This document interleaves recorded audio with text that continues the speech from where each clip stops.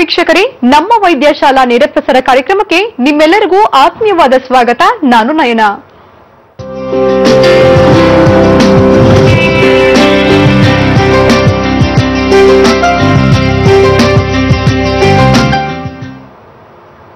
ವೀಕ್ಷಕರೇ, ನಮ್ಮ ದಿನನಿತ್ಯದ ಜೀವನ ಶೈಲಿ ತುಂಬಾ ಚೆನ್ನಾಗಿರ್ಬೇಕಪ್ಪ ಅಂತಂದ್ರೆ ನಮ್ಮ ಆರೋಗ್ಯನೂ ಕೂಡ ಅಷ್ಟೇ ಇಂಪಾರ್ಟೆಂಟ್ ಆಗುತ್ತೆ.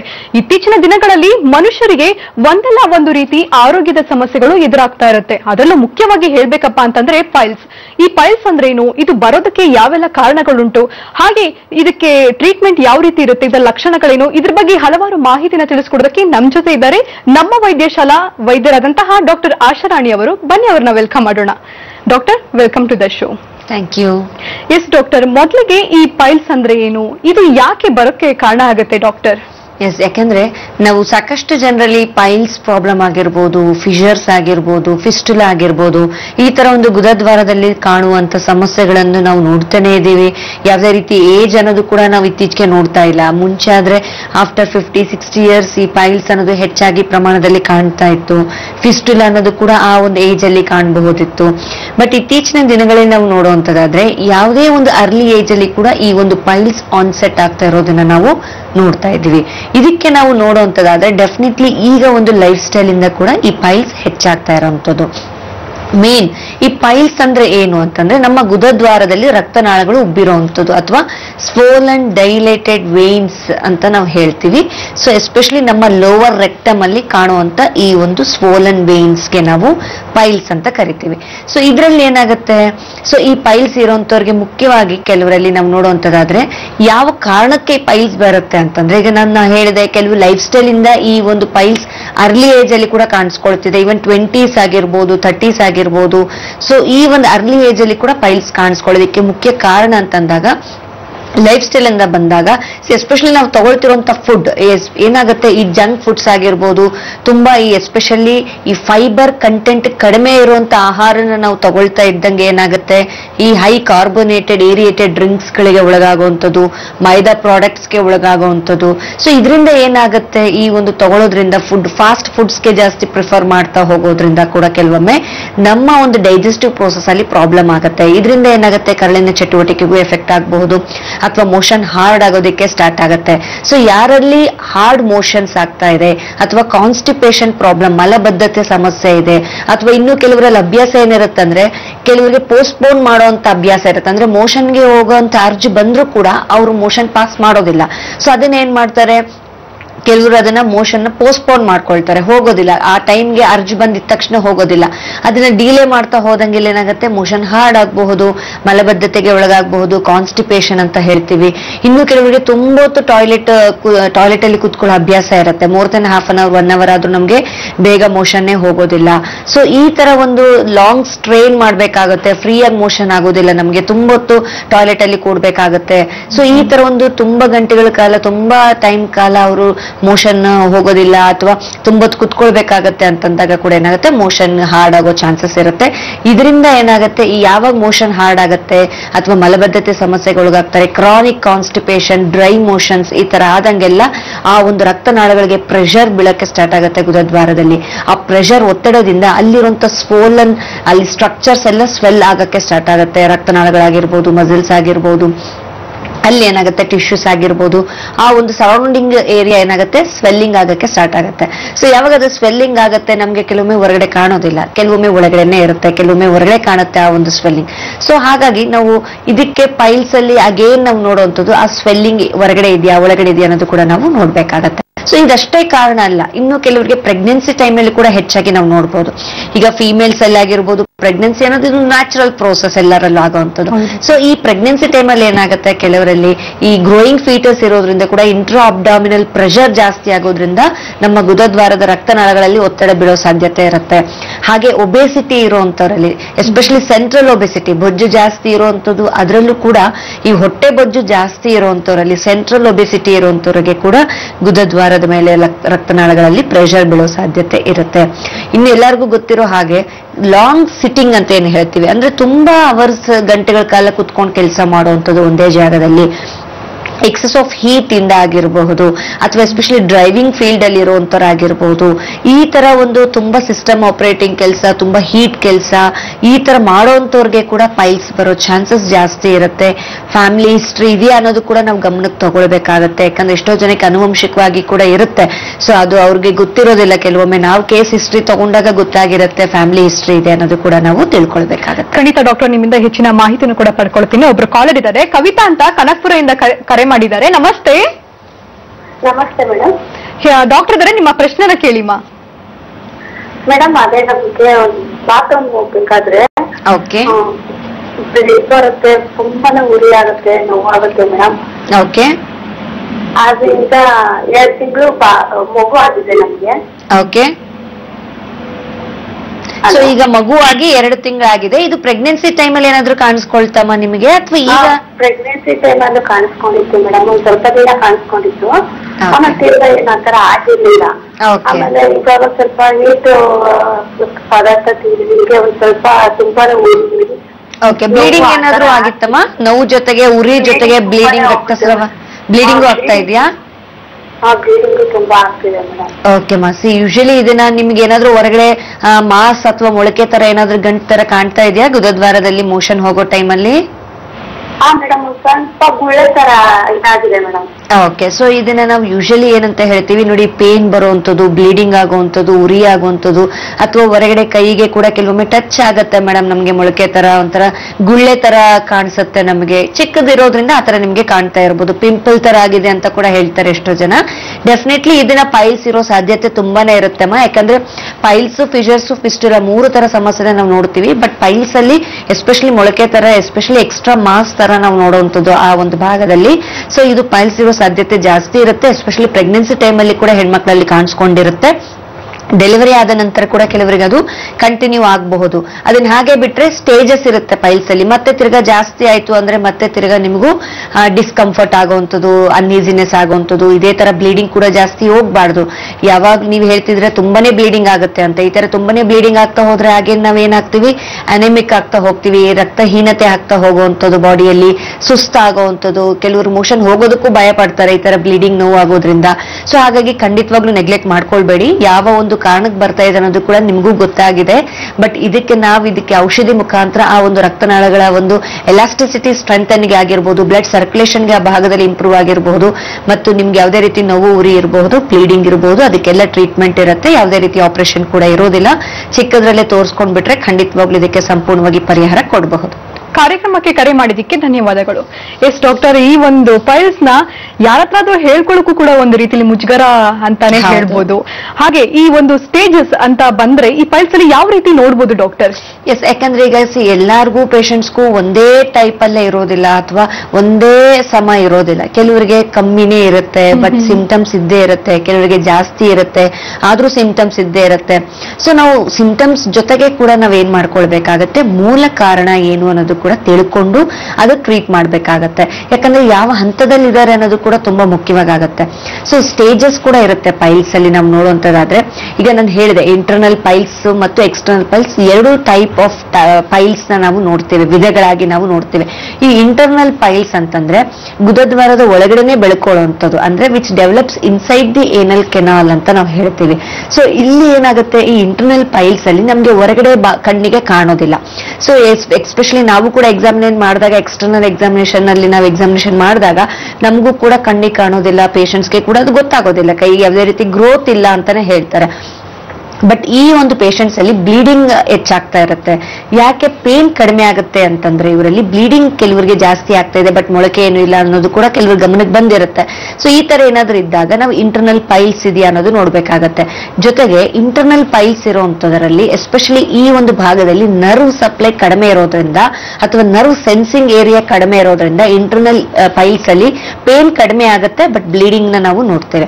ಹಾಗೆ ಎಕ್ಸ್ಟರ್ನಲ್ ಪೈಲ್ಸ್ ಅಲ್ಲಿ ಏನಾಗುತ್ತೆ which develops outside the anal canal ಅಂತ ಹೇಳ್ತೀವಿ. ಅಂದ್ರೆ ಜಸ್ಟ್ ನಮ್ಮ under the skin around the anus ಅಂತ ಹೇಳ್ತೀವಿ. ಈ ಭಾಗದಲ್ಲಿ ಅಲ್ಲಿ ಅದು ಡೆವಲಪ್ ಆಗೋದ್ರಿಂದ ಪೈಲ್ಸ್ ಈ ಅಂಡರ್ ದ ಸ್ಕಿನ್ ಅಂತಂದಾಗ ಅಲ್ಲಿ ನರ್ವ್ ಸಪ್ಲೈ ಜಾಸ್ತಿ ಇರುತ್ತೆ ನರ್ವ್ ಸೆನ್ಸಿಂಗ್ ಏರಿಯಾ ಜಾಸ್ತಿ ಇರುತ್ತೆ. ಹಾಗಾಗಿ ಈ ಒಂದು ಪೈಲ್ಸ್ ಇರೋಂಥವ್ರಲ್ಲಿ ಎಕ್ಸ್ಟರ್ನಲ್ ಪೈಲ್ಸ್ ಇರೋಂಥವ್ರಿಗೆ ಪೇನ್ ಜಾಸ್ತಿ ಇರುತ್ತೆ ಡಿಸ್ಕಂಫರ್ಟ್ ಜಾಸ್ತಿ ಇರುತ್ತೆ ಇಚ್ಚಿಂಗ್ ಆಗಬಹುದು ಅಥವಾ ಬ್ಲೀಡಿಂಗ್ ಆಗಬಹುದು ಸ್ವೆಲ್ಲಿಂಗ್ ಆಗಬಹುದು ರೆಡ್ನೆಸ್ ಆಗಬಹುದು, ತುಂಬಾನೇ ಪೇನ್ ಇರುತ್ತೆ, ಚುಚ್ಚೋ ತರ ಪೇನ್ ಇರುತ್ತೆ ಅಂತ ಕೂಡ ಹೇಳ್ತಾರೆ. ಈ ತರ ಕೂಡ ಸಿಂಪ್ಟಮ್ಸ್ ನಾವು ಕಾಣಬಹುದು. ಈ ಒಂದು ಟೈಪ್ಸ್ ಯಾವ ಟೈಪ್ ಅಲ್ಲಿ ಇದ್ದಾರೆ ಇಂಟರ್ನಲ್ ಇದ್ದಾರೆ ಎಕ್ಸ್ಟರ್ನಲ್ ಇದ್ದಾರೆ ಅನ್ನೋದು ನಾವು ಎಕ್ಸಾಮಿನೇಷನ್ ಮುಖಾಂತರ ಪೇಷಂಟ್ ಒಂದು ಸ್ಪಷ್ಟ ಮಾಹಿತಿ ಕೊಡಬಹುದು. ಸೊ ಈ ಟೈಪ್ ಆಫ್ ಪೈಲ್ಸ್ ಅವರಲ್ಲಿ ಯಾವ ರೀತಿ ಟೈಪ್ ಆಫ್ ಪೈಲ್ಸ್ ಇದೆ ಅನ್ನೋದು ನೋಡ್ಕೊಂಡು ಅದಕ್ಕೆ ತಕ್ಕ ಹಾಗೆ ಟ್ರೀಟ್ಮೆಂಟ್ ಇರುತ್ತೆ. ಜೊತೆಗೆ ಸ್ಟೇಜಸ್ ಅಂತ ನಾವು ತಿಳಿಯುವಂಥದ್ದು ತುಂಬಾನೇ ಉತ್ತಮ. ಯಾಕಂದ್ರೆ ಯಾವ ಹಂತದಲ್ಲಿ ನಮ್ಮ ಕಾಯಿಲೆ ಇದೆ ಅನ್ನೋದು ತಿಳ್ಕೊಳ್ಳೋದು ಪ್ರತಿಯೊಬ್ಬರು ಕೂಡ ತುಂಬಾನೇ ಉತ್ತಮ. ಬಿಕಾಸ್ ನೆಗ್ಲಿಜೆನ್ಸ್ ಅನ್ನೋದು ಎಲ್ಲ ಸ್ಟೇಜ್ಗೂ ಮಾಡುವಂಥದ್ದಲ್ಲ. ಸಿ ಯಾವೇ ಸ್ಟೇಜ್ ಪೈಲ್ಸ್ ಅಂದ ತಕ್ಷಣಕ್ಕೆ ನೆಗ್ಲಿಜೆನ್ಸ್ ಅಂತ ಬರಬಾರ್ದು. ಯಾಕಂದ್ರೆ ಯಾವ ಸ್ಟೇಜ್ ಅಲ್ಲಿ ನಾವು ತಡ ಮಾಡಬಹುದು ಅಥವಾ ಯಾವ ಸ್ಟೇಜ್ ಅಲ್ಲಿ ನಾವು ತಡ ಮಾಡ್ಲೇಬಾರ್ದಾಗತ್ತೆ ಅನ್ನೋದು ನಾವು ತಿಳ್ಕೊಳ್ಬೇಕು. ಎಲ್ಲ ಸ್ಟೇಜ್ಗೂ ನಾವು ತಡ ಮಾಡ್ತೀವಿ ಅಂದ್ರೆ ಖಂಡಿತವಾಗ್ಲೂ ಅಲ್ಲ. ಸೊ ಅದಕ್ಕೆ ತಕ್ಕ ಹಾಗೆ ಸ್ಟೇಜಸ್ ಅನ್ನೋದು ಕೂಡ ಇರುತ್ತೆ. ಸೊ ಅದ್ರ ತಕ್ಕ ಹಾಗೆ ನಾವು ಟ್ರೀಟ್ಮೆಂಟ್ನ ಕೊಡ್ತೀವಿ. ಫೋರ್ ಸ್ಟೇಜಸ್ ಆಗಿ ನಾವು ನೋಡ್ತೀವಿ ಪೈಲ್ಸ್ನ ಸೊ ಆ ಸ್ಟೇಜಸ್ ಕೂಡ ನಾವು ತಿಳ್ಕೊಳ್ಳುವಂತದ್ದಾದ್ರೆ ಸಿ ಎಸ್ಪೆಷಲಿ ಫಸ್ಟ್ ಸ್ಟೇಜ್ ಅಂತ ನಾವು ಹೇಳಿದಾಗ ಪೇಷಂಟ್ಸ್ ಅಲ್ಲಿ ಗೊತ್ತಾಗ್ಬೇಕಾಗಿರುವಂತದ್ದು ವೇನ್ಸ್ ಸ್ವೆಲ್ಲಿಂಗ್ ಆಗ್ತಾ ಹೋಗುತ್ತೆ. ಅಂದ್ರೆ ಊತ ಬರೋದು ಡೈಲೇಟೆಡ್ ಬರೋದು ವೇನ್ಸ್ ನಾವು ನೋಡ್ತೇವೆ. ಬಟ್ ಆ ಸ್ವೆಲ್ಲಿಂಗ್ ಏನಾಗಿರುತ್ತೆ ವೇನ್ಸ್ ಅಲ್ಲಿ? ಅದು ನಮಗೆ ಮೇಲ್ಗಡೆ ಕಾಣೋದಿಲ್ಲ. ಸೊ ಫಸ್ಟ್ ಸ್ಟೇಜ್ ಅಲ್ಲಿ just swollen and dilated veins inflamed veins ಅಂತ ಹೇಳ್ತೀವಿ. ಸೊ ಅದೇ ಯಾವಾಗ ಅದು ಸೆಕೆಂಡ್ ಸ್ಟೇಜ್ಗೆ ತೀರ್ಕೊಳ್ಳುತ್ತೆ? ಪೈಲ್ಸ್ ಅಂತಂದಾಗ ನಮ್ಮ ಗಮನಕ್ಕೆ ಬರುವಂತದ್ದು ಏನು ಅಂದ್ರೆ ಮೋಷನ್ ಹೋಗೋ ಟೈಮಲ್ಲಿ ಅಥವಾ ನಾವು ಮೋಷನ್ ಪಾಸ್ ಮಾಡೋ ಟೈಮಲ್ಲಿ ನಮ್ಗೆ ಮಾಸ್ ತರ ಅಥವಾ ಎಕ್ಸ್ಟ್ರಾ ದುರ್ಮಾಂಸ ತರ ನಮ್ಮ ಕೈಗೆ ತಾಕತ್ತೆ ಅಥವಾ ನಮ್ಗೆ ಫೀಲ್ ಆಗತ್ತೆ ಆ ಭಾಗದಲ್ಲಿ ಅಂತ ಕೂಡ ಹೇಳ್ತಾರೆ. ಇದನ್ನ ನಾವು ಸೆಕೆಂಡ್ ಸ್ಟೇಜ್ ಅಂತ ಕರಿತೀವಿ.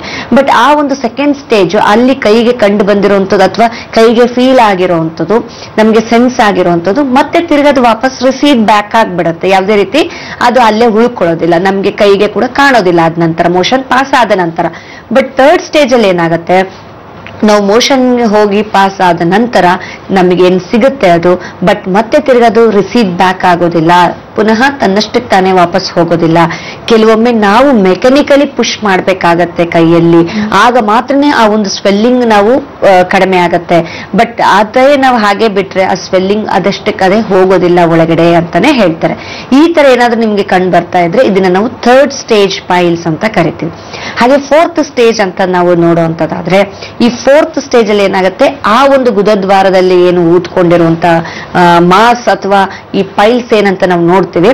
ಪರ್ಮನೆಂಟ್ಲಿ ಹ್ಯಾಂಗ್ ಡೌನ್ ಔಟ್ಸೈಡ್ ಅಂತ ಹೇಳ್ತೀವಿ. ಅಂದ್ರೆ ನಾವು ಕೈಯಿಂದ ತಳ್ಳಿದ್ರು ಅಥವಾ ಸ್ವತಃ ತನ್ನಷ್ಟಕ್ಕೆ ತಾನೇ ಹೋಗುವಂಥದ್ದು ಯಾವುದೂ ಇರೋದಿಲ್ಲ. ಹೊರಗಡೆ ಪರ್ಮನೆಂಟ್ಲಿ ಅದು ಅಲ್ಲೇ ಉಳ್ಕೊಳ್ಳುವಂಥದ್ದನ್ನ ನಾವು ಪೇಷಂಟ್ ಗಮನಕ್ಕೂ ಬರುತ್ತೆ. ಹಾಗೆ ನಾವು ಕೂಡ ಜಸ್ಟ್ ಎಕ್ಸಾಮಿನೇಷನ್ ಮುಖಾಂತರನೇ ಹೇಳ್ಬಿಡ್ಬೋದು. ಆ ತರ ಒಂದು ಮಟ್ಟಕ್ಕೆ ಈ ಒಂದು ಪೈಲ್ಸ್ ಸಿವಿಯರಿಟಿ ಸ್ಟೇಜಸ್ ಅಲ್ಲಿ ಬೆಳೀತಾ ಹೋಗುತ್ತೆ.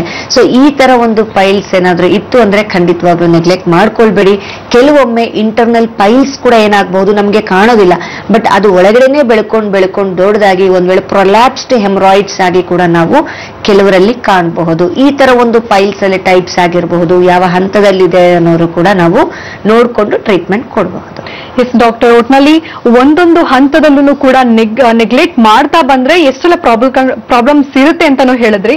ಹಾಗೆ ಈ ಒಂದು ಪೈಲ್ಸ್ ಬರೋದಕ್ಕೆ ಲಕ್ಷಣಗಳು ಏನಿರ್ಬೋದು ಡಾಕ್ಟರ್ ಸಿ ಡೆಫಿನೆಟ್ಲಿ ಯಾಕಂದ್ರೆ ಪೈಲ್ಸ್ ಅಂದ ತಕ್ಷಣಕ್ಕೆ ಬರೇ ನಮ್ಗೆ ಮೊಳಕೆನೇ ಇರಬಹುದಾ? ಅಥವಾ ಕೆಲವರಿಗೆ ಸಿಂಪ್ಟಮ್ಸ್ ಕೂಡ ಕಾಣಬಹುದಾ?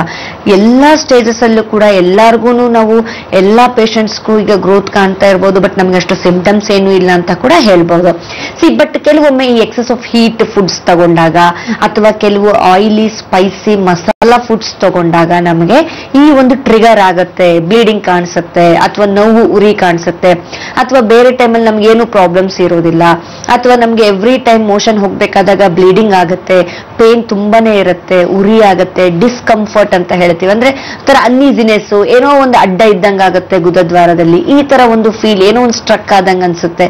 ಈ ತರ ಒಂದು ಫೀಲ್ ಕೂಡ ಪೇಷಂಟ್ಸ್ಗೆ ಬರಬಹುದು. ಖಂಡಿತ ಡಾಕ್ಟರ್, ಲಕ್ಷಣಗಳ ಬಗ್ಗೆ ಇನ್ನು ಹೆಚ್ಚಿನ ಮಾಹಿತಿಯನ್ನು ಕೂಡ ಪಡ್ಕೊಳ್ಳೋಣ.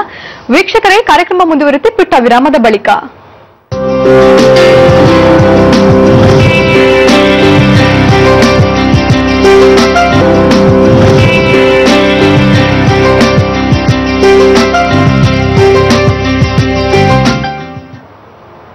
ವಿರಾಮದ ನಂತರ ಕಾರ್ಯಕ್ರಮಕ್ಕೆ ಮತ್ತೊಮ್ಮೆ ಸ್ವಾಗತ. ಒಬ್ರು ಕಾಲರ್ ಇದ್ದಾರೆ. ಅಂಜಲಿ ಅಂತ ಬೆಂಗಳೂರಿಂದ ಕರೆ ಮಾಡಿದ್ದಾರೆ. ನಮಸ್ತೆ. ಹಲೋ? ಅಂಜಲಿ ಅವರೇ ನನ್ನ ಧ್ವನಿ ಕೇಳಿಸ್ತಿದ್ಯಾ ನಿಮ್ಗೆ? ಕೇಳಿಸ್ತಾ ಇದೆ. ಖಂಡಿತ ಡಾಕ್ಟರ್ ಇದಾರೆ. ನಿಮ್ಮ ಪ್ರಶ್ನೆನ ಕೇಳಿಮ್ಮ ಹಲೋ ಹಲೋ ಹಲೋ ಹೇಳಿಮ್ಮ ಏನ್ ಸಮಸ್ಯೆ ಇದೆ? ಮೇಡಮ್ ಪೀರಿಯಡ್ಸ್ ಹೋಗುತ್ತಲ್ವಾ? ಆ Okay. ಟೈಮ್ ಅಲ್ಲಿ ಹೊಟ್ಟೆ ತುಂಬಾ ಕೈ ಕಾಲು ಸುಸ್ತುಗೆ ಇರಕ್ಕಾಗಲ್ಲ ಏನ್ ಮಾಡೋದ್ ಮೇಡಮ್ ಏಜ್ ಎಷ್ಟಿದೆಮ್ಮ ನಿಮ್ಗೆ? ನಮ್ಗ್ ಹದಿನೆಂಟು ಮೇಡಮ್ ಓಕೆ ನೀವು ಮೆಚೂರ್ ಆದಾಗಿಂದನು ಈ ತರ ಪೇನ್ ಜಾಸ್ತಿ ಆಗುವಂಥದ್ದು ಸುಸ್ತಾಗುವಂಥದ್ದು ಪೀರಿಯಡ್ಸ್ ಟೈಮ್ ಅಲ್ಲಿ ಇದೆಯಾ? ಇಲ್ಲ ಮೇಡಮ್ ಇವತ್ತೇ ಇವತ್ತೇ ಫಸ್ಟ್ ಇದಾಗಿರೋದು. ಅದಕ್ಕೆ ಕಾಲ್ ಮಾಡಿದೆ.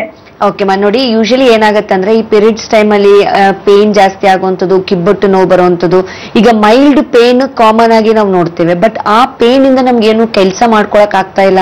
ದಿನನಿತ್ಯ ಚಟುವಟಿಕೆದಲ್ಲಿ ನಮ್ಗೆ ಏನು ಮಾಡ್ಕೊಳಕ್ ಆಗ್ತಾ ಇಲ್ಲ. ತುಂಬಾನೇ ಪೇನ್ ಇರುತ್ತೆ, ಸುಸ್ತಾಗತ್ತೆ, ಕೆಲವರಿಗೆ ವಾಮಿಟಿಂಗ್ ಆಗುವಂಥದ್ದು, ಈ ತರ ಮೋಷನ್ಸ್ ಪ್ರಾಬ್ಲಮ್ಸ್ ಕೂಡ ಆಗುತ್ತೆ, ಕೆಲವ್ರಿಗೆ ಲೂಸ್ ಮೋಷನ್ ಆಗಬಹುದು.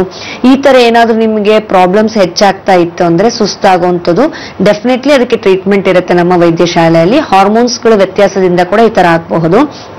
ಇದನ್ನ ನಾವು ಈ ತರ ಏನಾದ್ರೂ ಪೇನ್ಫುಲ್ ಮೆನ್ಸ್ಟ್ರೇಷನ್ಗೆ ನಾವು ಡಿಸ್ಮೆನೋರಿ ಅಂತ ಕರಿತೀವಿ ಮೆಚೂರ್ಡ್ ಆದಾಗಿಂದನೂ ಇದೆಯಾ? ಅಥವಾ ಇತ್ತೀಚೆಗೆ ನಮಗೆ ಶುರುವಾಗಿದೆ ಅಂತಂದ್ರೆ ಅದು ಏನಕ್ಕೆ ಶುರುವಾಗಿದೆ? ಮುಂಚೆ ಇರಲಿಲ್ಲ ಬಟ್ ಈಗ ಏನಕ್ಕೆ ಶುರುವಾಗಿದೆ ಅನ್ನೋದಕ್ಕೆ ನಾವು ಎಕ್ಸಾಮಿನೇಷನ್ ಮಾಡಿಬಿಟ್ಟು ಅದಕ್ಕೆ ಟ್ರೀಟ್ಮೆಂಟ್ನ ಕೊಡ್ತೀವಿ.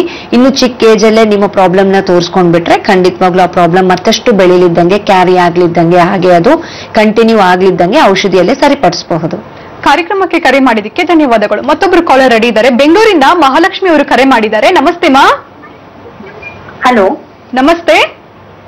ನಮಸ್ತೆ ಮೇಡಮ್ ಡಾಕ್ಟರ್ ಅವರೇ ನಿಮ್ಮ ಪ್ರಶ್ನೆನ ಕೇಳಿ. ಶೋರ್ ಮೇಡಮ್ ಖಂಡಿತ. ಹಲೋ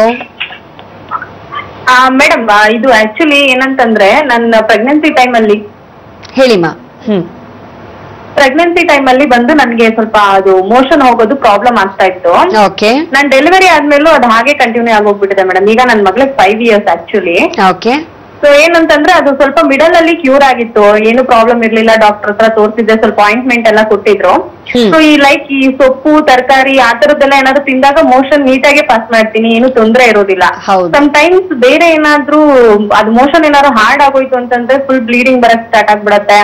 ಮತ್ತೆ ತುಂಬಾ ಉರಿಯಕ್ ಸ್ಟಾರ್ಟ್ ಆಗ್ಬಿಡುತ್ತೆ. ಇನ್ನೊಂದ್ ಏನಂತಂದ್ರೆ ಅದು ಮೋಷನ್ ಸ್ವಲ್ಪ ಹಾರ್ಡ್ ಆಗಿ ನಾನು ಪಾಸ್ ಮಾಡಿದಾಗ ಏನಾಗಿದೆ? ಅದು ಒಂಚೂರು ಸ್ಕಿನ್ ಟ್ಯಾಗ್ ಆಚೆ ಬಂದಿರೋ ತರ ಆಗ್ಬಿಟ್ಟಿದೆ ನಂಗೆ. ಓಕೆ ಸ್ಕಿನ್ ಟ್ಯಾಗ್ ತರ ಹೊರಗಡೆ ಕಾಣಿಸ್ತಾ ಇದೆ. ಹೇಳಿದೆ. ಸೊ ಇದಕ್ಕೆ ಮೇನ್ ಏನಾಗುತ್ತೆ? ಆ ಗುದದ್ವಾರದಲ್ಲಿ ಪ್ರೆಷರ್ ಬಿಲ್ಡಪ್ ಆಯ್ತು ಅಂದ್ರೆ ಏನಾಗುತ್ತೆ? ಆ ವೇನ್ಸ್ ಏನ್ ಸ್ವೆಲ್ಲಿಂಗ್ ಆಗಿರುತ್ತೆ ನಿಮ್ಮಲ್ಲಿ ಅಲ್ಲಿ ನಿಮ್ಗೆ ಮತ್ತೆ ತಿರ್ಗಾ ಏಟ್ ಆಯ್ತು ಪ್ರೆಷರ್ಗೆ ಒತ್ತಡ ಬಿತ್ತು ಅಂತಂದಾಗ ಬ್ಲೀಡಿಂಗ್ ಆಗಬಹುದು. ಅಥವಾ ಅದೇ ತರನೇ ನಿಮ್ಗೆ ಕ್ರಾನಿಕ್ ಏನಾದ್ರೂ ಬೆಳೀತಾ ಹೋಯ್ತು ಅಂದ್ರೆ ಕೆಲವೊಮ್ಮೆ ಈ ಕಾನ್ಸ್ಟಿಪೇಷನ್ ಅಂತ ಏನ್ ಹೇಳ್ತೀವಿ ಮಲಬದ್ಧತೆ ನಾವು ಆದಷ್ಟು ಮೋಷನ್ನ ಸಾಫ್ಟ್ ಮಾಡ್ಕೊಳ್ಬೇಕು. ಆ ತರನೇ ಫುಡ್ ಹ್ಯಾಬಿಟ್ಸ್ ಕೂಡ ನೀವು ಫಾಲೋ ಮಾಡಬೇಕು. ಬಟ್ ಅದೇ ರೀತಿ ಸ್ವಲ್ಪ ಫುಡ್ ವೇರಿ ಆದ್ರೂ ಕೂಡ ನಮಗೆ ಮೋಷನ್ ಕಷ್ಟ ಆಗ್ತಾ ಇದೆ. ಅಂದ್ರೆ ಡೆಫಿನೆಟ್ಲಿ ನಿಮ್ಮ ಬಾಡಿ ಸೆನ್ಸಿಟಿವ್ ಆಗ್ತಾ ಇದೆ. ಅಂದ್ರೆ ನಿಮ್ಮ ಬಾಡಿಗೆ ಸ್ವಲ್ಪ ಫುಡ್ ವೇರಿ ಆದ್ರೂ ನಿಮ್ಮ ಡೈಜೆಸ್ಟಿವ್ ಪ್ರೋಸೆಸ್ ಅದನ್ನ ಕ್ಲಿಯರ್ ಮಾಡ್ಕೊಳಕ್ ಆಗ್ತಾ ಇಲ್ಲ.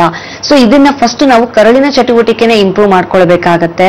ಸೊ ಹಾಗೆ ಅದಕ್ಕೆ ಮೆಡಿಕೇಶನ್ಸ್ ಕೂಡ ಇರುತ್ತೆ. ಕಾನ್ಸ್ಟಿಪೇಷನ್ ಮಲಬದ್ಧತೆ ಹಾರ್ಡ್ ಮೋಷನ್ಸ್ ಆಗುವಂಥದ್ದು. ಸಿ ನಾರ್ಮಲಿ ಒಂದು ಮಹಿಳೆಯರಲ್ಲಿ ನಾವು ಟ್ವೆಂಟಿ ಫೈವ್ ಗ್ರಾಮ್ಸ್ ನಾವೇನು ಹೇಳ್ತೀವಿ ಫೈಬರ್ ಇಂಟೇಕ್ ಎಲ್ಲರಿಗೂ ಬೇಕಾಗತ್ತೆ. ಬಟ್ ಇದನ್ನ ನೀವು ಏನ್ ಮಾಡ್ತೀರಿ? ಸೊ ಇಷ್ಟಕ್ಕೆ ನಾವು ಫುಡ್ ಒಂದೇ ಅಲ್ಲ. ಕೆಲವೊಮ್ಮೆ ಫುಡ್ ಜೊತೆಗೆ ಪ್ರಾಬ್ಲಮ್ನ ರೂಟ್ ಕಾಸ್ ಏನಿದೆ, ಅದಕ್ಕೆ ನಾವು ಟ್ರೀಟ್ ಕೂಡ ಮಾಡ್ಕೊಳ್ಬೇಕು. ನೀರ್ ಚೆನ್ನಾಗಿ ತಗೊಳ್ತೀವಿ ಫುಡ್ ನಾರು ಪದಾರ್ಥ, ಸೊಪ್ಪಿನ ಪದಾರ್ಥ, ಅಥವಾ ಈ ಫ್ರೂಟ್ಸ್ ಅಲ್ಲಿ ಕೂಡ ಎವ್ರಿ ಡೇ ಒಂದು ಫೈಬರ್ ರಿಚ್ ಫುಡ್ ಫ್ರೂಟ್ಸ್ನ ಕೂಡ ನಾವು ತಗೊಳ್ತೀವಿ ಮೇಡಮ್ ಅಂತಂದ್ರೂ ಕೂಡ ಒಳ್ಳೇದು. ಬಟ್ ಜೊತೆಗೆ ಸ್ವಲ್ಪ ಪ್ರಾಬ್ಲಮ್ ಏನಾಗಿದೆ, ಆ ಕಾನ್ಸ್ಟಿಪೇಷನ್ ಯಾಕೆ ಆಗ್ತಾ ಇದೆ? ಅದನ್ನ ಸರಿಪಡಿಸ್ಕೊಂಡ್ಬಿಟ್ರೆ ಈ ಪೇನ್ ಬರುವಂತದ್ದು ಬ್ಲೀಡಿಂಗ್ ಆಗುವಂಥದ್ದು ಈಗ ಸ್ಕಿನ್ ಟ್ಯಾಕ್ ತರ ಕೂಡ ಬರ್ತಾ ಇದೆ. ಅದಕ್ಕೆ ಸ್ವಲ್ಪ ಟ್ರಿಗರ್ ಆಯ್ತು ಅಂದ್ರೆ ಮತ್ತೆ ಬ್ಲೀಡಿಂಗ್ ಆಗ್ಬಿಡುತ್ತೆ. ಸೊ ಅದನ್ನ ನಾವು ಅವಾಯ್ಡ್ ಮಾಡ್ಕೊಳ್ಬೇಕು ಅಂದ್ರೆ ಖಂಡಿತವಾಗ್ಲೂ ಅದಕ್ಕೆ ಟ್ರೀಟ್ಮೆಂಟ್ ಇರುತ್ತೆಮ್ಮ ಸೊ ಆದಷ್ಟು ನೆಗ್ಲೆಕ್ಟ್ ಮಾಡ್ಕೊಳ್ಬೇಡಿ. ಮತ್ತಷ್ಟು ಅದು ಬೆಳೀತಾ ಬೆಳೀತಾ ಒಳಗಡೆನೆ ಜಾಸ್ತಿ ಆಯ್ತು ಅಂದ್ರೆ ಮತ್ತೆ ಸ್ಟೇಜಸ್ ಕೂಡ ಜಾಸ್ತಿ ಆಗ್ತಾ ಹೋಗುತ್ತೆ. ಕಾರ್ಯಕ್ರಮಕ್ಕೆ ಕರೆ ಮಾಡಿದ್ದಕ್ಕೆ ಧನ್ಯವಾದಗಳು. ಬೆಂಗಳೂರಿಂದ ಕುಮಾರ್ ಅವರು ಕರೆ ಮಾಡಿದ್ದಾರೆ. ನಮಸ್ತೆ. ಡಾಕ್ಟರ್ ಇದಾರೆ ನಿಮ್ಮ ಪ್ರಶ್ನೆ ಕೇಳಿ. ಹಲೋ ನಮಸ್ತೆ ಹೇಳಿ. ನಾನು ಕುಮಾರ್ ಅಂತ ನಗರಿಂದ ಹೇಳಿ ಕುಮಾರ್ ಅವರೇ. ನಮ್ಗೆ ಇದು ಮೋಷನ್ನಲ್ಲಿ ಯೂಶಲಿ ಬ್ಲೀಡಿಂಗ್ ಆಗಲ್ಲ ಮತ್ತೆ ಮೋಷನ್ ಕರೆಕ್ಟ್ ಟೈಮ್ ಆಗುತ್ತೆ. ಮತ್ತೆ ಯಾವುದೇ ತರ ತೊಂದರೆಗಳು ಇಲ್ಲ. ಆದ್ರೆ ಒಂದೊಂದ್ಸತಿ ಪತ್ ಬರುತ್ತೆ ಪಸ್ತರ ಆಚೆ ಬರೋದು ಮತ್ತೆ ತುಂಬಾ ಪೇನ್ ಆಗುತ್ತೆ ಮೋಷನ್ ಹೋದಾಗ. ಉರಿ ಉರಿ ತರ ಆಗೋದು. ಸೊ ನಾನು ಸ್ವಲ್ಪ ಅದು ಗೂಗಲ್ ಅದು ಇದು ಮಾಡ್ಬಿಟ್ಟು ಬಿಸಿನೀರಲ್ಲಿ ಕೂಡೋದು. ಅದೆಲ್ಲ ಮಾಡ್ತಾ ಇದ್ವಿ. ಹ್ಮ್. ಆದ್ರೂ ಯಾಕೋ ಸರಿ ಹೋಗ್ತಿಲ್ಲ. ಓಕೆ ಎಕ್ಸಾಮಿನೇಷನ್ ಎಲ್ಲಾದ್ರೂ ಮಾಡ್ಸಿದ್ರೆ? ಡಾಕ್ಟರ್ ಹತ್ರ ಹೋಗಿ ತೋರ್ಸಿದ್ರ? ಒಂದ್ ಕಡೆ ಆಯುರ್ವೇದಿಕ್ ಡಾಕ್ಟರ್ ಹತ್ರ ತೋರಿಸಿದ್ದೆ. ಅವರು ಸ್ವಲ್ಪ ಇದು ಮಾಡ್ಬೇಕು ನೋಡ್ಬೇಕು ಆಚೆನೂ ಸ್ವಲ್ಪ ಬಂದಿದೆ ಅಂತ ಅಂದ್ರು. ಓಕೆ ಯಾಕೆಂದ್ರೆ ಸಿ ಈಗ ಗುದದ್ವಾರದಲ್ಲಿ ನಿಮ್ಗೆ ಸಮಸ್ಯೆ ಇದೆ ಅಂತಂದ್ರೆ ಇದಕ್ಕೆ ಸಾಕಷ್ಟು ಕಾರಣಗಳು ಮತ್ತು ಸಾಕಷ್ಟು ಗುದದ್ವಾರದಲ್ಲಿ ಕೂಡ ಬರೀ ಪೈಲ್ಸೇ ಇರ್ಬೇಕು ಅಂತಲ್ಲ. ಮೊಳಕೆ ಇಲ್ಲ ಮೇಡಮ್ ನಮ್ಗೆ ಅಂತ ನೀವು ಅಥವಾ ಬೇರೆ ಬ್ಲೀಡಿಂಗ್ ಆಗ್ಲಿ ಅದೇ ಅನ್ಬೋದು ಬಟ್ ಪಸ್ಸು ಊಸಿಂಗ್ ಆಗ್ತಾ ಇದೆ. ವಾಟ್ರಿ ತರ ಡಿಸ್ಚಾರ್ಜ್ ಬರುತ್ತೆ. ಕೆಲವರಿಗೆ ಆ ಡಿಸ್ಚಾರ್ಜ್ ಸ್ಟಿಕ್ಕಿ ಇರುತ್ತೆ. ಅಂದ್ರೆ, ನಾವು ಆ ಡಿಸ್ಚಾರ್ಜ್ ಹೇಗಿರುತ್ತೆ ಅಂದ್ರೆ ಕೆಲವೊಮ್ಮೆ ಅಂಟುತ್ತೆ ಅಥವಾ ಸ್ಟಿಕ್ಕಿ ಇರುತ್ತೆ. ಕೆಲವೊಮ್ಮೆ ಸ್ವಲ್ಪ ಮೈಲ್ಡ್ ಸ್ಮೆಲ್ ಸ್ಮೆಲ್ ಇರುತ್ತೆ ಅಂತ ಕೂಡ ಹೇಳ್ತಾರೆ. ಬಿಕಾಸ್ ಅಲ್ಲಿ ಏನಾದ್ರೂ ಇನ್ಫೆಕ್ಷನ್ ಆಗಿರಬಹುದು ನಿಮಗೆ. ಫಿಸ್ಟುಲಾ ಏನಾದ್ರೂ ಇದೆಯಾ ಅನ್ನೋದು ನೋಡ್ಬೇಕಾಗತ್ತೆ. ಅಥವಾ ಸಾಕಷ್ಟು ಕೂಡ ಕಾರಣಗಳಿಂದ ಕೂಡ ಈ ಒಂದು ಊಸಿಂಗು ಅಥವಾ ಈ ಒಂದು ಪಸ್ ಡಿಸ್ಚಾರ್ಜ್ ಆಗುವಂಥದ್ದು ಪೇನ್ ತುಂಬಾನೇ ಇರುತ್ತೆ ಆ ಟೈಮಲ್ಲಿ. ಸೊ ಬಿಕಾಸ್ ಇನ್ಫೆಕ್ಷನ್ ಕೂಡ ಆದಾಗ ಪೇನ್ ಕೂಡ ಕೆಲವರಿಗೆ ಕಾಣಬಹುದು. ಸೊ ಇದು ಫಿಸ್ಟುಲಾ ಇದೆಯಾ ಅನ್ನೋದು ನಾವು ಕನ್ಫರ್ಮೇಶನ್ ಮಾಡ್ಕೊಳ್ಬೇಕಾಗತ್ತೆ. ನಾನು ಹಾಗೆ ನಿಮ್ಗೆ ಹೇಳಕ್ಕೂ ಕೂಡ ಕಷ್ಟ ಆಗುತ್ತೆ. ಎಕ್ಸಾಮಿನೇಷನ್ ಕೂಡ ಇರುತ್ತೆ ನಮ್ಮಲ್ಲಿ. ಡಾಕ್ಟರ್ಸ್ ಕೂಡ ಮೇಲ್ ಡಾಕ್ಟರ್ಸ್ ಇದೀವಿ. ಸಾಕಷ್ಟು ಫಿಮೇಲ್ ಡಾಕ್ಟರ್ಸ್ ಎಲ್ಲರೂ ಇರೋದ್ರಿಂದ ಟೆನ್ಷನ್ ಏನ್ ಮಾಡ್ಕೊಳ್ಳೋ ಅವಶ್ಯಕತೆ ಇಲ್ಲ. ಖಂಡಿತವಾಗ್ಲೂ ಬಂದು ಭೇಟಿಯಾಗಿ ಅದು ಏನ್ ಪ್ರಾಬ್ಲಮ್ ಇದೆ ಅನ್ನೋದು ನೋಡ್ಬೇಕಾಗತ್ತೆ. ಸೊ ಆ ಫಿಸ್ಟುಲಾ ಸ್ಟೇಜ್ ಅಲ್ಲಿ ಇದಾರಾ ಅಥವಾ ಆಪ್ಸಿಸ್ ಸ್ಟೇಜ್ ಅಲ್ಲಿ ಇದೆಯಾ? ಆಪ್ಸಿಸ್ ಇದೆಯಾ? ಏನಾದ್ರು ಅಲ್ಲಿ ಕುರ ತರ, ಹುಣ್ಣು ತರ ಆಗಿದೆಯಾ? ಅಥವಾ ಜಸ್ಟ್ ಮೈಲ್ಡ್ ಓಪನಿಂಗ್ ತರ ಆಗಿರುತ್ತೆ? ಫಿಸ್ಟುಲಾ ಅಂದ್ರೆ it is an abnormal opening ಅಂತ ಹೇಳ್ತೀವಿ. ಸ್ಕಿನ್ಗೂ ಮತ್ತು ಎನಲ್ ಕೆನಲ್ಗೆ ಒಂದು ಮೈಲ್ಡ್ ಅಬ್ನಾರ್ಮಲ್ ಓಪನಿಂಗ್ ಆಗಿ ಅದು ಸ್ಲೋಲಿ ಸ್ಲೋಲಿ ಅದರಿಂದ ಇನ್ಫೆಕ್ಟ್ ಆಗಿ ಪಸ್ಸು ವಾಟ್ರಿ ಡಿಸ್ಚಾರ್ಜ್ ಬರುವಂಥದ್ದು ಪೇನ್ ಆಗುವಂಥದ್ದು ಸಾಕಷ್ಟು ಈ ತರ ಒಂದು ಸಮಸ್ಯೆನ ನಾವು ನೋಡ್ತೇವೆ. ಸೊ ಡೆಫಿನೆಟ್ಲಿ ನೆಗ್ಲೆಕ್ಟ್ ಮಾಡ್ಕೊಳ್ಬೇಡಿ. ಟ್ರೀಟ್ಮೆಂಟ್ ಇರುತ್ತೆ. ಅದು ಮತ್ತಷ್ಟು ಓಪನಿಂಗ್ ದೊಡ್ಡದಾಗಬಾರ್ದು ಅಂತ ನಾವು ಹೇಳ್ತೀವಿ. ಅದಕ್ಕೆ ಟ್ರೀಟ್ಮೆಂಟ್ ತಗೊಂಡು ಕಂಟ್ರೋಲ್ ಮಾಡ್ಕೊಳ್ಬಹುದು. ಕಾರ್ಯಕ್ರಮಕ್ಕೆ ಕರೆ ಮಾಡಿದಕ್ಕೆ ಧನ್ಯವಾದಗಳು. ಬೆಂಗಳೂರಲ್ಲಿ ಇದ್ದೀರಾ ಮಲ್ಲೇಶ್ವರಂ ಹಾಗೆ ಜಯನಗರಲ್ಲಿ ಹತ್ತಿರ ಇರುವಂತಹ ಬ್ರಾಂಚಸ್ಗೆ ನೀವು ಭೇಟಿ ಮಾಡಬಹುದು ನಿಮ್ಮ ಸಮಸ್ಯೆಗಳಿಗೆ ಖಂಡಿತವಾಗ್ಲೂ ಪರಿಹಾರ ಪಡ್ಕೊಳ್ಬಹುದು ಎಸ್, ಡಾಕ್ಟರ್, ಇನ್ನು ಅವರು ಹೇಳಿದ್ರು, ಕೆಲವೊಂದು ಟೈಮ್ಸ್ ಅವರೇ ಲೈಫ್ ಸ್ಟೈಲ್ನ ಫಾಲೋ ಮಾಡ್ತಾ ಇರ್ತಾರೆ. ಫುಡ್ ಇಂದ ಆಗಿರ್ಬೋದು, ಅಥವಾ ನಾವು ಬಿಸಿನೀರ್ ವಾಟರ್ ಕುಡಿತೀವಿ, ಡಾಕ್ಟರ್. ಅದರಿಂದನೂ ಕೂಡ ಮೋಷನ್ಸ್ ಕ್ಲಿಯರ್ ಆಗುತ್ತೆ ಅಂತ ಹೇಳ್ತಿರ್ತಾರೆ. ಆದ್ರೂ ಕೆಲವೊಂದ್ಸತಿ ಈ ಒಂದು ಹ್ಯಾಬಿಟ್ಸ್ ಇಂದನೂ ಕೂಡ ಕೆಲವೊಂದ್ಸತಿ ಪ್ರಾಬ್ಲಮ್ಸ್ ಆಗುತ್ತೆ. ಈಗ ಅವರ ಒಂದು ಲೈಫ್ ಸ್ಟೈಲ್ ಹೇಗೆ ಮೇಂಟೈನ್ ಮಾಡ್ಬೇಕಾಗತ್ತೆ ಡಾಕ್ಟರ್ ಇದ್ರ ಬಗ್ಗೆ ಈಗ ನಾವು ಹೇಳುವಂತದಾದ್ರೆ ಈಗ ಲೈಫ್ ಸ್ಟೈಲ್ ತುಂಬಾ ಇಂಪ್ಯಾಕ್ಟ್ ಆಗಿದೆ. ಸಾಕಷ್ಟು patients definitely lifestyle change ಮಾಡ್ಕೊಂಡು ಆರಾಮಾಗಿರೋರು ಇದ್ದಾರೆ ನಮಗೂ ತುಂಬಾನೇ ಖುಷಿ ಆಗುತ್ತೆ. ಬಟ್ ಯಾವಾಗ ಅದು ರಿಪೀಟೆಡ್ ಆಗ್ತಾ ಇದೆ ಅಂತಂದಾಗ ಡೆಫಿನೆಟ್ಲಿ ಆಗಿ ನಾವು ಎಚ್ಚರಿಕೆ ತಗೊಳ್ಬೇಕಾಗತ್ತೆ. ಯಾಕಂದ್ರೆ ನಾವು ಲೈಫ್ ಸ್ಟೈಲ್ ಒಂದೇ ಸರಿಪಡಿಸ್ಕೊಂಡ್ರೆ ಸರಿ ಹೋಗ್ತಾ ಇಲ್ಲ ಅಂದ್ರೂ ಕೂಡ ಅಲ್ಲಿ ಮೇನ್ ಯಾವ ಒಂದು ಹಂತದಲ್ಲಿ ಇದೆ ಅನ್ನೋದು ತಿಳ್ಕೊಳ್ಬೇಕು. ಯಾಕೆ ಬರ್ತಾ ಇದೆ ನಮ್ಮಲ್ಲಿ? ಈ ತರ ಒಂದು ತಿಳ್ಕೊಂಡು ಅದಕ್ಕೆ ಈವನ್ ಮೆಡಿಕೇಶನ್ಸ್ ಕೂಡ ಸ್ವಲ್ಪ ಸಪೋರ್ಟ್ ಮಾಡ್ಕೊಂಡು ನಿಮ್ಮ ಲೈಫ್ ಸ್ಟೈಲ್ ಜೊತೆಗೆ ಮೆಡಿಕೇಶನ್ಸ್ ಕೂಡ ನೀವು ಸಪೋರ್ಟ್ ಮಾಡ್ಕೊಂಡ್ಬಿಟ್ರೆ ಆ ಪ್ರಾಬ್ಲಮ್ ಮತ್ ಮತ್ ರಿಪೀಟ್ ಆಗೋದು ಅಥವಾ ಜಾಸ್ತಿ ಆಗೋದು ಸ್ಟೇಜ್ ಬೆಳ್ಕೊಳ್ಳುವಂಥದ್ದನ್ನ ಅಥವಾ ಪ್ರೋಗ್ರೆಸ್ ಡಿಸೀಸ್ ಆಗೋದನ್ನ ನಾವು ಔಷಧಿಯಲ್ಲಿ ತಡಿಬಹುದು. ಈಗ ಲಾಸ್ಟ್ ಕಾಲರ್ ಕೂಡ ಹೇಳಿದ್ರು ಡಿಸ್ಚಾರ್ಜ್ ಬರ್ತಾ ಇದೆ. ಡೆಫಿನೆಟ್ಲಿ ಯಾಕಂದ್ರೆ ನಾವು ಗುದದ್ವಾರದಲ್ಲಿ ಸಾಕಷ್ಟು ಸಮಸ್ಯೆಗಳನ್ನ ನೋಡ್ತೀವಿ. ಬರೀ ಪೈಲ್ಸೇ ಅಲ್ಲ ಫಿಶರ್ಸ್ ಆಗಿರ್ಬೋದು ಫಿಸ್ಟುಲ್ ಆಗಿರ್ಬೋದು ಕೂಡ ನಾವು ನೋಡ್ತೇವೆ. ಸೊ ಈ ತರ ಇತ್ತು ಅಂದಾಗ ನಾವು ಈ ಫಿಸ್ಟುಲ್ ಅನ್ನೋದು ಕೂಡ ಇದು ಒಂದು ಓಪನಿಂಗ್ ಅಬ್ನಾರ್ಮಲ್ ಓಪನಿಂಗ್ ಅಂತ ಹೇಳ್ತೀವಿ. ನಮ್ಮ ಸ್ಕಿನ್ಗೂ ಮತ್ತು ಏನಲ್ ಕೆನಲ್ಗೂ ಒಂದು ಅಬ್ನಾರ್ಮಲ್ ಓಪನಿಂಗ್ ಒಂದು ಟ್ರ್ಯಾಕ್ ಫಾರ್ಮೇಶನ್ ತರ ಆಗ್ಬಿಟ್ಟು ಏನಾಗುತ್ತೆ? ಅದರಿಂದ ನಿಮ್ಗೆ ಪಸ್ ಬರುವಂತದ್ದು ಪೇನ್ ಸಿವಿಯರು ಅಥವಾ ಊಸಿಂಗು ಸ್ಕಿನ್ನಿ ಡಿಸ್ಚಾರ್ಜ್ ಅಂತ ಹೇಳ್ತೀವಿ. ಈ ತರ ಡಿಸ್ಚಾರ್ಜ್ ಬರ್ತಾ ಇರುತ್ತೆ. ಕೆಲವು ಸ್ಮೆಲ್ ಕೂಡ ಬರ್ತಾ ಇರುತ್ತೆ ಅದರಿಂದ. ಸೊ ಎಷ್ಟೇ ನಾವು ಅವ್ರು ಅಂತವ್ರು ಏನ್ ಮಾಡ್ಬೇಕು? ಸ್ವಲ್ಪ ಹೈಜಿನಿಕ್ ಇಟ್ಕೊಳ್ಬೇಕು ಆ ಭಾಗನ್ನ.